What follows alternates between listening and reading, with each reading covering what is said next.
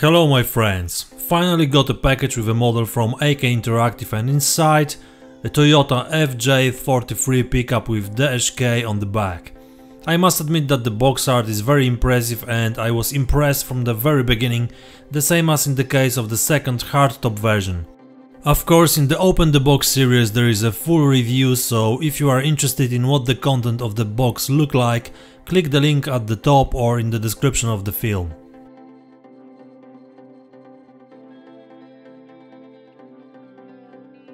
For me the biggest problem was finding the right reference materials and inspirations.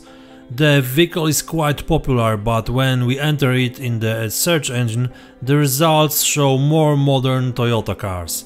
Fortunately, I found a few photos on the producer's website and in the depths of the internet. They don't all show exactly the version I'm building, but they are close enough to use as a reference. In addition, help was provided by a friend from Lebanon who also sent me some valuable information about this car. Thanks a lot, Imad. I conducted the construction as shown in the manual. The most important thing for me was that the model parts fit very well and it was a pleasure to work on it. And I'm not saying that for AK company to make them satisfied, but it was actually so. I like that in the manual we have additional descriptions explaining the construction process and any doubts. I actually started it at 10 am and finished it at 5 pm. I had a lunch break on the way, so 7 hours of work on building the model from start to finish is a very good time. This is also the reason why I didn't record much footage on this process.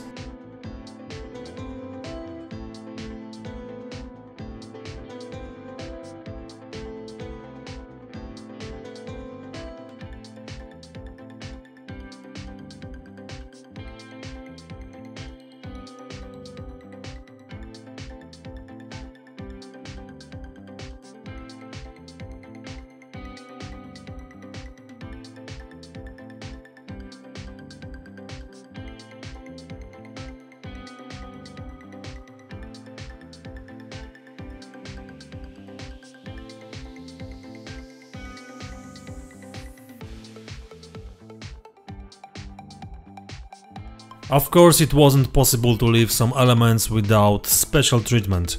This is most visible on the fenders which I gently bent with flat pliers and cut with the hobby knife to make them look damaged by uncareful driving. Besides, I also used a drill. The vehicle will be completed in rebel service somewhere in Africa or the Middle East, so it cannot look like new straight from the factory.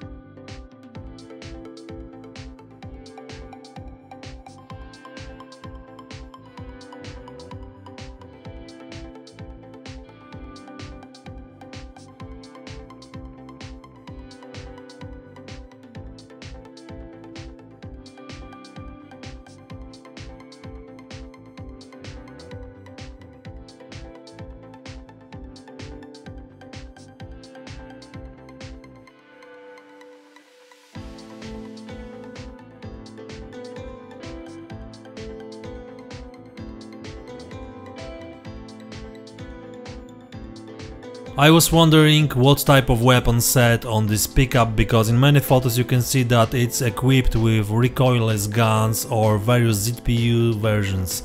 In the end I decided to stay with DShK because it's made well and it makes no sense to replace it with anything else. The producer has prepared two sets of tires for us that can be used in the model, one with an aggressive and the other with a typical civilian tread. For me this is a great solution because I didn't have to think which type to use. I took both. So in result, one of the rear wheels has a civilian tread and so is the spare wheel. All tires have been heavily sanded to slightly wear away the shape and pattern. It's quite characteristic and I've noticed this in the pictures that the tires are almost bald, especially on older vehicles because rebel drivers in those areas don't care too much about regular replacements and the safety requirements to which we are used to.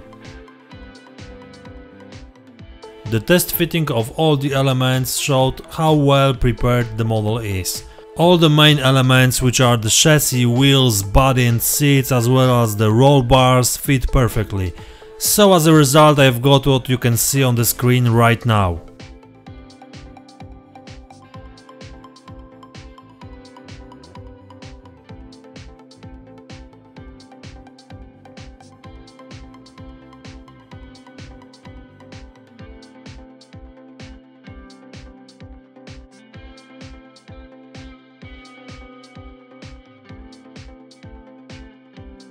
Before I even started working on the painting I made a small correction on one of the seats. It was enough to bend the backrest a bit and we have a more non-standard look. I think that it would be possible to even make this seat fully unfolded or folded up, but it's a bit more work. As I always do with my models, the individual elements were put on wooden sticks for easier manipulation in the case of painting. The fact that on some elements, such as on the chassis, a hole will remain, but fortunately no one will look at the chassis when the model is attached to the stand. You can cover it with a little round plug at the end and I will try to do it if I don't forget. Here a little tip on how to attach an element such as roll bars on a toothpick.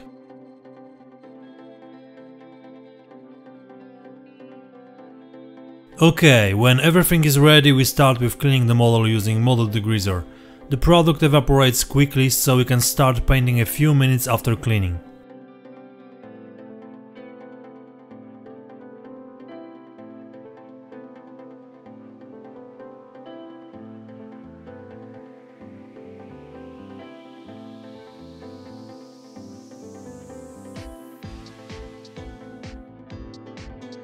I divided the elements of the vehicle into two groups. One had a body and frame and I painted them with a silver primer and the rest with black. You will know why I did it in a moment. First the black painting with a mixture of paint and satin varnish. I wanted the paint coating to have a bit of gloss, although it would all be dusty after that. But, ah, never mind. The seat painted on the box art is checked. I don't know how much it has to do with reality and whether there were such covers in the Toyota cars, but it looks nice. And of course I decided to paint it. I followed the drawing from the manual a bit where the producer showed the sample painting and colors, but I did a bit to my own changing the colors. A well stabilized hand is the basis in this painting because every mistake takes at least two steps back to apply corrections. I painted the second seat with sand and this way I have a bit of variety in the crew compartment. The whole body covered with a silver undercoat now is sprayed with easy chipping medium. I guess you already know what will happen next. But before I started painting this most important element I prepared the colors for the wheels. I painted the rims black and the tires dark grey and more specifically rubber black, because this is the name of the color. The civilian pattern of the tires got a slightly lighter shade because I used a bit of paint that was left from painting the seat and I added it to the base color. And of course I cut off the part of the letter U in the tire producer name.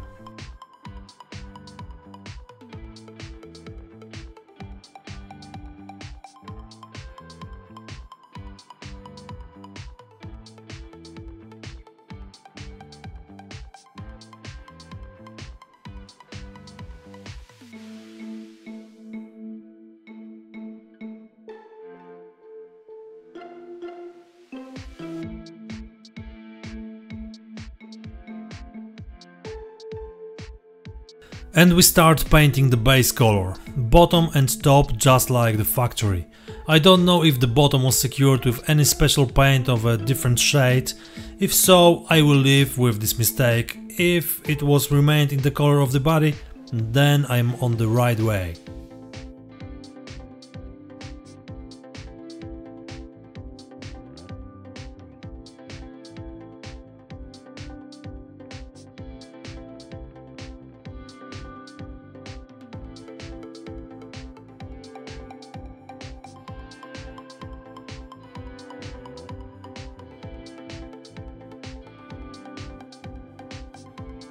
Few moments after the paint had dried, I started the destruction.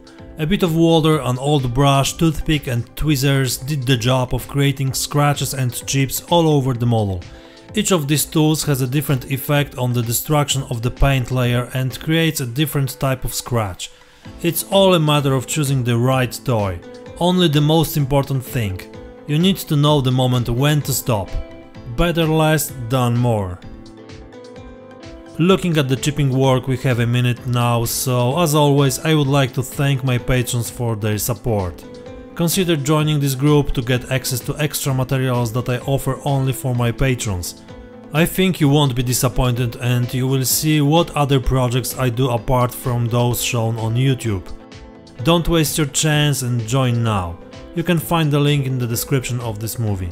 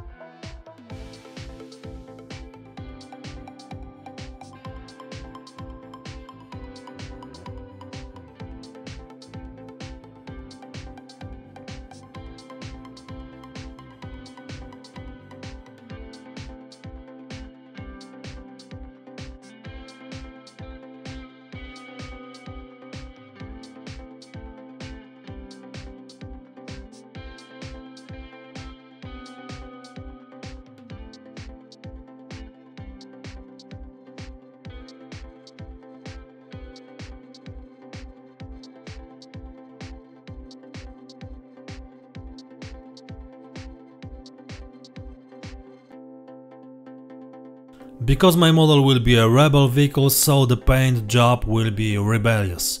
Let's imagine that Toyota is in the hands of some militia and the driver decides to paint it a little so that it has a more military character.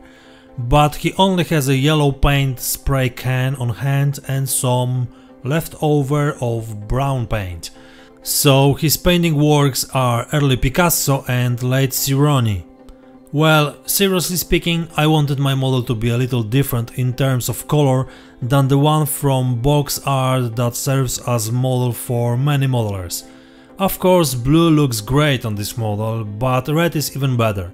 I painted all the spots with Tamiya paints. The producer added small decal to speedometer, oil control, temperature and more. Of course it's worth sticking them on and additionally applying a little glossy varnish. The entire exhaust pipe is painted in a metallic color. Later there will be various effects, for example a bit of rust and above all dirt. Next I used the pigment cement for the glass of the headlights on the front and additionally stuck them with strips of insulating tape. Despite its thickness it looks pretty good and I'm just wondering if these strips shouldn't be a bit longer.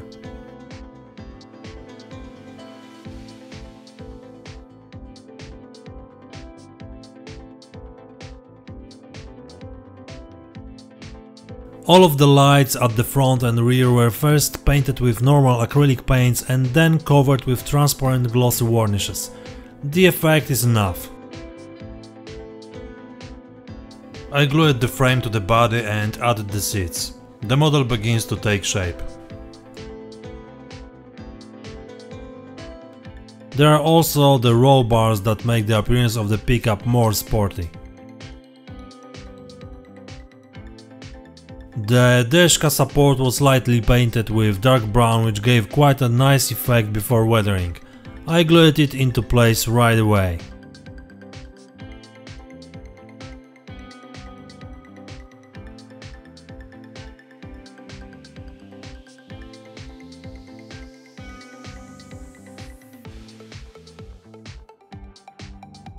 In the end I make some minor modification of the tires. Unfortunately there are no resin tires available yet and I don't know if they will be at all, so this solution is the simplest thing you can do to make them look more natural. For now, without glue, I will mount them on the model to take photos and film for the summary of this episode. Built, painted and ready for the weathering. I think that I realized my plan and I'm really happy with the results. Because I have no problems with building of this kit, I was thinking about making quite big base with some other models, but my wife showed me the list of my next builds and... you know. In the next episode I will do weathering, a figure and a little stand, yep, you heard it correctly, a little stand to present the model in an interesting way. I already have an idea and I think I can do something easy and rare at the same time. I hope you enjoyed this process and my work will be useful for someone who is going to build this kit. Thank you for watching this episode. If you like this channel and want to support, please subscribe it, like and write a comment. That's all for today, see you next time, cheers!